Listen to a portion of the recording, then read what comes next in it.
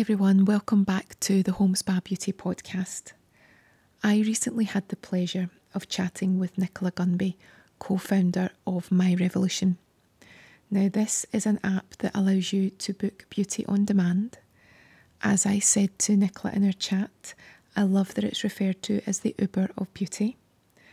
And it was great to speak to someone who came up with an innovative idea partly based on some experience of some versions that came before it. But the key is the innovation. How do you innovate an idea and take it and expand it and move it further beyond your wildest dreams? And that's what Nicola's been able to achieve. So we'll talk about building a business from scratch, getting acquired, investing in global beauty brands, tech startup. If you're interested in business, if you're interested in beauty, if you yourself work in the industry, you might be a makeup artist or a beauty therapist, then I think you might find this very interesting. So I hope you enjoy my chat with Nicola all about my revolution. Oh, Nicola, it's so good to speak with you today. I would love to know then all about how everything came about because you've had quite the story, haven't you? Yes, I have. Thanks so much for having me on the podcast. But yeah, it's been it's been a bit of a journey to be honest. So yeah, I am um, a co-founder of My Revolution, which is basically a booking app and marketplace for freelance beauty professionals. So as a client, you can go on there and you can browse and book local professionals in your area um, and pay for them direct all on the app um, yeah, so it was my it was my personal idea for the whole um, business. But yeah, it started around I'd say three years ago now. Um, so me and my partner, um, we went traveling. So we didn't know what we really wanted to do.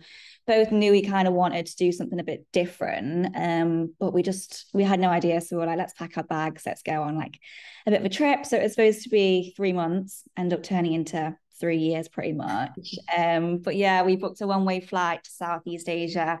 So we were like traveling around Thailand, um, Vietnam, Cambodia, Bali, and then we ended up in Australia, really just kind of out of the blue. Had some friends there, um, and before I went traveling on a whim, I did a makeup course because I was like, what am I interested in? All my friends had gone to uni. I tried the whole uni thing, hated it. So I was like, love beauty, love doing makeup. So I was like, I'll do a makeup course. I want to be a makeup artist. Um, so yeah, when I was in Australia, I thought maybe this is my time to kind of try it.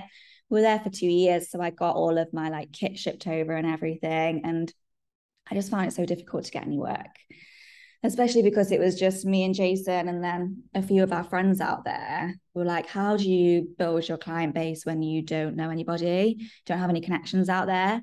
Um, I got pretty lucky in the end, like just through people meeting people word of mouth. But I was like, it'd be so much easier if there was a website and I could put my profile on, people could book me direct. And it sounds sounds so simple, but I think I mentioned it to my boyfriend a few times, just like I wish there was an easier way. And he basically just said one day, like, why don't why don't we create it? And I was like, oh my gosh, you're like crazy. Like, how are we going to do this? have no experience in business, no experience in tech, anything like that. Um, so yeah, we just decided to go for it. We knew we were coming back to the UK after two years. Um, and again, we just didn't want to kind of go home, get a job, get a house. We knew we wanted something different, especially because I think we'd seen opportunities in the rest of the world and like Australia and we loved our lifestyle there that we like we want to do something that's our own. Um so we never really planned to have a business together but it just it just kind of happened. So I think the biggest step was us just saving loads of money to go traveling back home but we used some of that money to like buy a macbook and like to build a website. So we were like really invested when we pretty much had nothing at the beginning um and we were traveling back home for three months again. So like Sri Lanka, Philippines, Bali again. Um, so we decided to start them. We thought, right, we've got like three months with nothing else to do. Like, why not just go for it? So yeah, we were basically learning how to like code a basic site on the way home, sat on a beach, kind of working on it. And I think it took us around two months to get like all the business plan together and get like the website sorted. And then we just launched it on a beach in Sri Lanka just after a few cocktails, just as you do. as you do, yeah. um, but yeah, it went really well. And like in the first week, we had a few hundred signups. And we were like, we've really got a business idea here. Like, we've got to make it work. I think in the beginning, we thought like we wasn't sure what it was going to be, wasn't sure if it was going to work. We thought, we've got this idea, let's try it. Um, but yeah, then we came back home and in a couple of months we had like a thousand. So we decided to just go full time on it, just not get a job, not do anything else lucky enough that we were like living at our parents so we didn't have that kind of expenses didn't have any like overheads or anything so we could just go for it um and then yeah that was before covid obviously mm-hmm. covid had to take some time out um and then after COVID, yeah, we were looking for investment to grow the business. I think we've grown the platform to about 2,500 beauty professionals across the UK. Um, so we had some really good numbers behind us, a really good brand behind us. And yeah, we wanted to kind of accelerate it further. Um, but like we knew nothing about investment or nothing about how to grow a business. So it was all pretty new to us. Um, but yeah, so we went through that journey. That was like a three month process of like pitching your heart and soul away. And then we got connected to Revolution Beauty, so the founder, Adam Minto. Um, and he just saw the benefit of bringing it in house. So, using all of their infrastructure, using their team, their marketing, everything they've built as a global company so far. So, yeah, in the end, they actually partially acquired 50%. Myself and Jason still have the other half. And we're running it day to day, but now we've basically rebranded and relaunched as my revolution which is what you see today um, exactly the same concept as before just kind of super powered in the app version really that's amazing now you when you're telling it it sounds so fantastic and glamorous because all of those lovely places you were i know how it feels when you're building a business and wow. i can only guess when you were pitching mm. just through experience there must have been times when people must have been so patronizing, oh yeah, so negative, mm. and look at what happened. You were able to prove them wrong. But yes. does anything because we like to keep it real? Does anything stick out when you were pitching when you just thought you don't get this and it's your loss? Yeah, yeah, completely. That was probably the toughest part of the business journey so far, I'd say. Um, just because we were so new to it as well, didn't really know anything about investment and how it all works. So we went into it completely just, I'd say a little bit naive, which sometimes can be a good thing because you expect the best of everything, don't you? But a lot of the time it was, I think we had meetings every single day for three months. And I think 90 to 95% of them was a no. A lot of them were either like constructive feedback, like you're a little bit too early, not the right fit. But then we did have some. And I think it was always, kind of when I was on my own pitching as well. So they see a young woman in a beauty business. And I've been told that like beauty doesn't make any money, like you're not going to get anywhere, like all of these things. And I was literally thinking, like, okay, wait and see.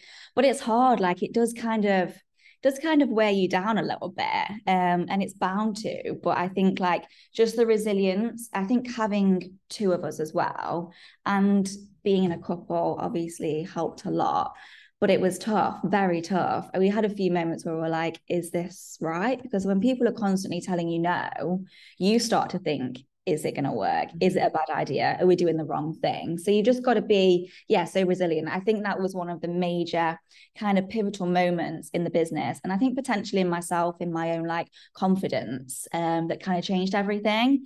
But yeah, it was it was awful, but worked out for the better. So. That's it. You only need to meet that right person once. That's right. it. And the other thing, everyone, when they're starting, either if it's your own business or even if you're starting in a new career, yes, I think most people are told they're naive or mm. you've still to learn.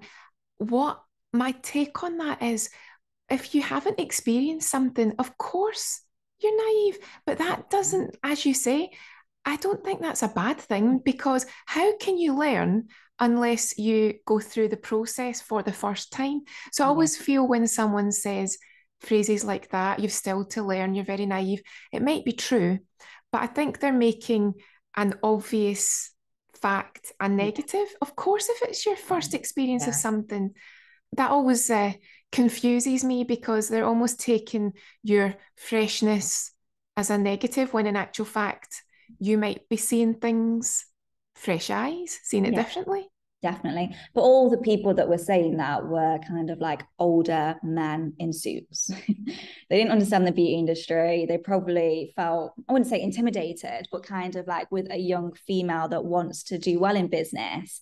I think it was always that kind of stereotypical man in a suit that just just didn't believe it. But I think they're the ones with all the power as well, which was so hard. Um, but yeah, we got there in the end, definitely. It worked. And now, and it's Adam that you're working with, is that correct? So yes. as you say, you're basically doing the day to day. Is it something then that was obviously a perfect fit because you each fulfill what the other is looking for to push this forward?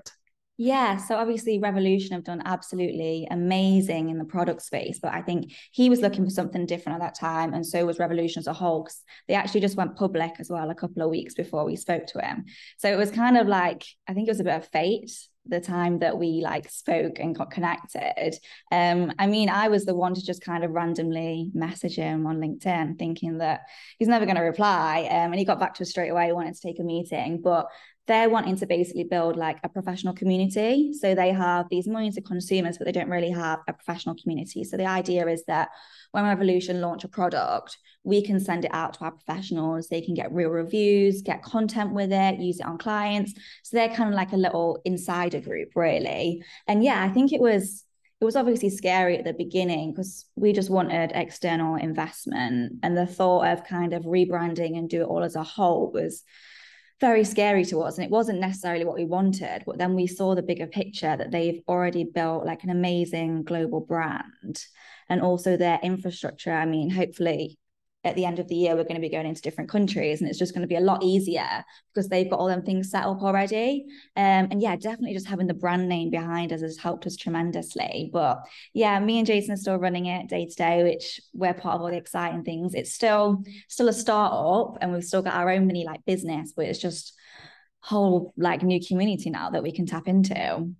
And i love um, the phrase the uber of beauty Yes. Because um, can you explain a little bit about that? Because I think it makes perfect sense, but it's nice to hear it from yourself, the vision. Yeah, of course. So I think when we were looking into this so much, we noticed that there wasn't really wasn't really anyone doing what we wanted to do. So there's obviously so many platforms that we're so used to using now, like Deliveroo, Uber, Airbnb, you can just book something online, Amazon, and it's here at the click of a button. So it's just so easy for people to do things now. Um, and we was like, there's nothing really like it for the beauty industry. Um, so we just wanted to build something which would be, yeah, like the Uber of beauty. So our professionals are basically the taxi drivers. So they're around waiting for the bookings and then they turn up at your door. Um, we do also do in salon bookings as well. Um, and a big USP with our platform compared to others out there is that we let the professional like completely choose their profile, their services, their reviews, their prices. So basically, like we're allowing them to market themselves in a way that they want to, rather than being like, this is who we are. Here's a set menu. As a customer, you get one price and that's it. Um, and I think that was really important from what I learned as a makeup artist that I'd always want to kind of put my own price out there. I didn't want to be controlled by someone else. So yeah, it was just it was just figuring out how we take all these different platforms that have done so amazingly and turn it into something for beauty. And am I right in thinking that you can download the app or go on the website? Is it either or? And are there differences? Yes, so as a professional, they have the app. So the professional, um, it allows them to like manage their diary, take deposits, cancellations, all of that kind of stuff. Because we found that was really important as well for professionals. But yeah, for the customer, they can search and browse on the web. So you can just go on there, have a browse, have a play around, and book if you want to. Um, and then we have the customer app as well, which is exactly the same. It's just all in one place. And as well, if you have the app as a customer, you can live chat with the professional. Because we found a lot of back and forth in the beauty industry. So, like saying you're looking for a hairdresser, you look on Instagram, you don't know if they're free, you don't know what their prices are, you get lost in the DMs, and then you're constantly back and forth. Even after you've booked, it's kind of like you're going through all these channels, there's texts, there's emails, there's DMs where people are sending you photos saying, like, what should I do beforehand? What should I do after? So, with the live chat function, you can do all of that in the app with your professional. So, it's just kind of covering all bases, really. That's great. And I would guess as well, you are providing the security for everyone because they're going through you. So Am I right in thinking that you can then be the go between if necessary, clarify things, yes. just keep everyone clear? Yes, exactly. We're basically like the connector of a client and a professional, which will help hopefully become a long-term client to them. So I think, yeah, we've we've really used everything we've learned and I've learned as well as a makeup artist, develop a platform that's not only really catering for the professionals because they're the ones that are struggling with like no shows and cancellations and not being paid and all those kind of issues that they have but then also really looking after the client and trying to figure out what it is that clients kind of want in this day and age and what do you feel? Because I'm guess it'll change seasonally and as the app gets bigger and bigger. What would you say is the most common request at the moment? It's definitely makeup. And I mm. think that's because there's not really a platform out there for makeup artists. Um, there's obviously like Treatwell and Fresha. They've done absolutely amazing in like the salon space, but there's no one that's really catering for those self-employed freelance professionals. And I think finding a makeup artist is potentially one of the hardest things to find. Um, so yeah, makeup's really big, but also nails is a really big one. We've got some amazing nail techs. Um, we've got like celebrity nail techs, celebrity makeup artists, influencers, all that kind of stuff. So it's really growing. But I'd say those two are the yeah the main service. And are most people requesting that the professional goes to them, or is there a bit of a split? I would guess they want you to go to the house for convenience. Yeah, there's a bit of a mix. So I'd say bookings that we get um, through the app are mainly mobile ones, but then we also get professionals, current clients as well booking in. So they use their booking link as a booking system. So they'll put it in their social media and stuff. So we get that kind of client as well, and we can capture them too. Um, and a lot of them that do use it as a regular booking system do work from home, or they will have like a home salon or a chair in a salon. Um, but we wanted to be really flexible with that because when we had the old platform before, we were mainly just mobile, whereas we were finding a lot of professionals were wanting to sign up that did work from home or did have a home salon or just wanted someone to come to them. So we wanted it to be really flexible. And as a professional, you can choose both as well. So it's the calendar is very clever. They all work out like travel time and time in between bookings and all of this so that they can kind of manage everything in one place. And do you find at the moment you've got a key client demographic or is it surprising you? The yeah. ages and the profiles? Yeah, so it's it's quite broad at the moment. I mean, it's predominantly female, which is expected. Um, and age range is like from 18 to 40. We're finding that with the younger ones, they're more engaging on social media than maybe just like browsing.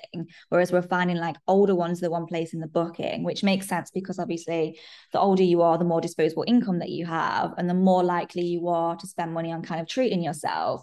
But we do have that younger demographic as well. And I think it's just because of the brand and I think because of Revolution Beauty, we're going to get both sides of things. Um, we're kind of wanting to target that kind of above 25, 26 plus to 35. And do you have any particular professionals, any again, demographic that it really suits them? Anyone? I'm thinking maybe people that are reasonably new to the industry is it a great way to build up their confidence but also people that maybe had a career break or is it perfect for a variety of professionals.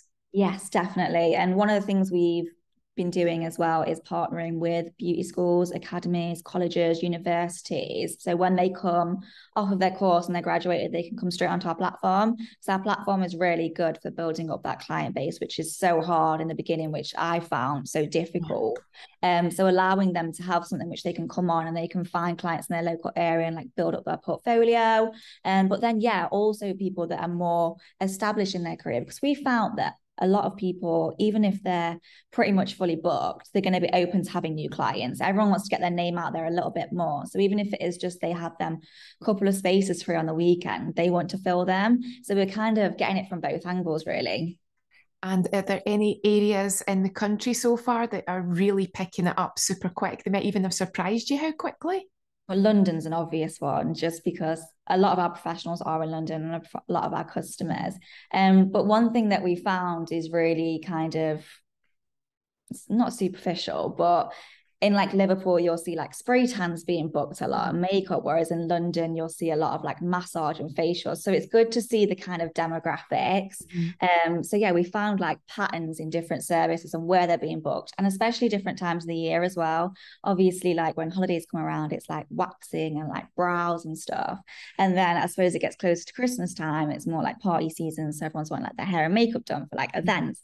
So it's good to see like the stats and how different it can be throughout the year, but also yeah in different kind of areas I think that is it's so interesting. I yeah. remember a few years ago it was um there was a perfume brand that were doing some sort of presentation that I was at and they were saying how the different areas had their yeah. different fragrances and they could tell by someone's accent that'll be your if I say pomegranate noir you'll know exactly which brand I'm talking about and they were saying I could tell as soon as they spoke this would be their favourite fragrance because it tended to be the demographics. They could tell whereabouts in the country you were, what your favourite fragrance basically would be. So, as you say, it's fascinating, isn't it? It is, isn't it? I love, yeah, looking at all the data and everything and how it's, yeah, differentiating. And I think that's going to be something as we grow as well that'll just be on a bigger scale. So, able to pick yeah. out like different pockets of the UK and like what's being booked in all these different areas. So, yes. and I'm guessing too, as trends change and mm-hmm. as new either new brands come up and people are using the brand within their treatments or even within their makeup, yeah. that might tap into again why people would want to book professionals on your app because they'll want to know does that person work with that brand? I'm thinking again if it's a facialist and they want to know what do you use? It could be a simple communication. Do you use a brand that i want? Can you be can they be with you in a matter of hours? Can it be that quick Yes, yes, definitely. So it's good for those last minute bookings as well. So we let our professionals kind of do their calendar like when they're open, when they have breaks and stuff. And then as a customer, you look at their profile and you can see exactly when you can book in. Um, so yeah, it's really flexible. And it's in the UK at the moment. Is yeah. it already reaching out to other territories or is that very much part of the plan? Yes, so part of the plan. So we want to kind of tackle the UK first and then move into different countries.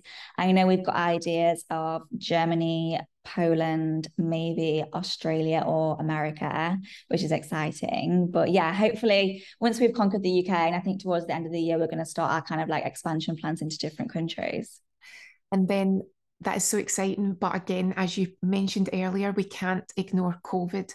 Oh, yes. What exactly did that do for business? Because the whole process of booking was just wiped out. Oh, yeah, completely. I think we'd only had the business maybe around six months when COVID hit. Obviously, so unexpected. Like, no one ever thought this would ever happen in our lives. Um, so, yeah, it was difficult because we had to shop for I want to say like eight months, maybe. I, I can't remember. But I think beauty was one of the last ones to come back on, wasn't it? And it was really sad actually to see how many beauty professionals maybe got another job or like they had to completely stop and like pivot their career just because of COVID. Um, so it was sad to see there was so many people that weren't kind of getting help. And I think the grant system and the whole funding system which wasn't really catered to the beauty industry. So a lot of people did, yeah, leave their business. Um, for us, it was you got to see the silver lining in everything, haven't you? So it was good for us because we were so early days that we could kind of take that time to figure out things that we maybe hadn't thought about. And that's when we decided like we need to get investment in the next few months as well. So it was kind of like it just gave you so much time to think about things and plan things. Um, but yeah, we were out of business for maybe eight months and then afterwards was pretty tough. I think everyone was quite skeptical because we didn't know what was going to happen constantly going in and out of lockdowns as well so but we found a lot of although a lot of professionals were dropping off, we were getting a lot of new ones that maybe they got furloughed in their career and they wanted to take up a new skill. So they did like an online course or something. And I think as well, I think there's a stat and it's around 70% of salons actually shut down through COVID, mm. which meant a lot of them either went self employed or they did like a home salon themselves or they started mobile. So I think that was really good for our platform because you don't have any overheads when you're mobile or freelance. You don't have like rent to pay, you don't have staff to pay, you don't have all of that. So I think a lot of people realized we don't really need a salon. And as well, on the customer side of things, I think people were more open to people like coming into your home. Um, because we like exercised from home, we worked from home, we got everything delivered to home. And so we're doing everything at home. So I think the thought of one person coming into your home that's fully protected, as opposed to you going out, getting on the tube, going into a salon where you could be contaminated with so many people. I think on the customer side of things, we saw a massive shift as well. That is such a good point. And it leads me on to, and I can guess what some of the answers will be your business wins, if you like, and also the business lows when you're like, oh, and I can guess that might have been a business low. So, what yeah. was that? What do you think of as a business win? Maybe something that always took you by surprise and you thought, well, didn't expect that, but that is amazing. Yeah, um, I think there's been loads to be honest.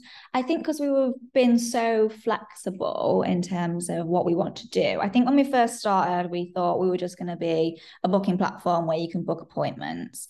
Um, but as we kind of realized, there's so many other industries you can kind of work with. Um, so we partner with like hotels and do like in-room services. We partner with like corporate clients doing like wellness days. We go into like buildings where we set up like little pop-ups and stuff. So I think and yeah the event side of things so i think that like we didn't really we didn't we weren't too tunnel vision if that makes sense. So like when these opportunities were popping up we thought oh this is really good. Like we need to take advantage of those. Whereas i think in the beginning we never thought that would even be an option. And i think with beauty it kind of it goes with everything. So like fashion goes really well with beauty. So we've got a really exciting partnership coming up soon with like a fashion brand.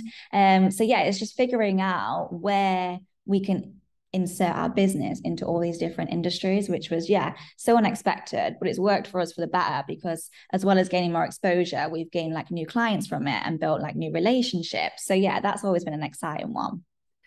And I think that leads me on. You've already hinted. What are the plans for, say, the next year or two? Um, do you have anything in sight, any ideas? You've already hinted at them. They sound really exciting. yeah, so we've got lots of exciting partnerships coming up, which is, yeah, which is really great. Um, I think in terms of the business, just growing it as much as possible, um, getting our own team members, which is really exciting. I think we've got 2,000 professionals on the platform currently. So obviously that's growing every day organically, which is amazing. So by the end of the year, we want to be hitting like that kind of 7,000, 8,000 mark. Um, but yeah, just growing it as much as possible. Obviously, the potential of going into other countries. I think with our business, it's been very much like a hockey stick. So it starts off slow and then as it picks up, it kind of skyrockets. And um, so we're at that point now, which is it's crazy, but it's yeah, so exciting. Um, what else have we got going on? We just want to be everywhere and do everything. I mean, next year we've got lots of exciting events planned. and um, going to be at lots of events as well. I think there's nothing better than that in-person kind of atmosphere. Um, we're so used to everything virtual now, but I think like in-person events is definitely like where the magic happens. So we've got lots of exciting things coming up next year. It sounds it's so innovative what you've done. Like you say, you've taken an idea that some people will have implemented previously and you've just ramped it up a level and you've made it about as convenient and dare I say it as well, safer than just uh, randomly, as you say, contacting someone who you're not sure about. And are the pictures really genuine? Mm-hmm. Does this makeup really look like this? yeah, you take it. I think that's it's a really great idea. Thank so, you. just to finish off, then, can you tell everyone that your socials, um, where how easily it is to search for the app? Do you just type in my revolution? Is that all you type in? Yes, so our website is www.my-rev.com. Instagram is just myrev, so super easy. If you want to download the app, it's available on App Store and Google Play Store. Just type in myrev or my revolution, it will come up, and yeah, you can download, get browsing, get booking. Um, but yeah, well done. From going you. on that holiday, I say holiday. Yeah. Did you have to do a little bit of work on that holiday? So we'll call it. Yes. Holiday-ish. But from that initial idea to now. I know. It's honestly crazy. well done. And I thank cannot you. wait to see where it leads. And thank, thank you very much for talking to me. That's okay. Thank you so much for having me. It's been a pleasure.